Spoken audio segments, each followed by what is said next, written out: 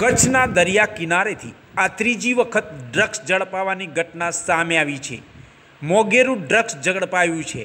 Navy intelligence અને બીએસએફની ટીમને મળી છે મોટી સફળતા.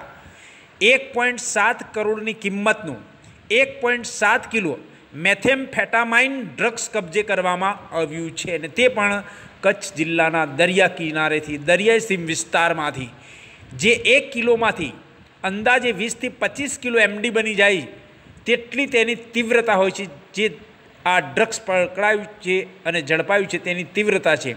અને આ ડ્રગ્સ ઊંઘ ન આવે એવી દવા બનાવવામાં, વાપરવામાં આવતું હોવાનું જણાવાયું છે. ત્યારે દરિયાકાંઠેથી સતત ત્રીજી વાર ડ્રગ્સ ઝડપાવાની ઘટના સામે આવતા ગુજરાતમાં ડ્રગ્સ માફિયાઓ બેફામ બન્યા હોય.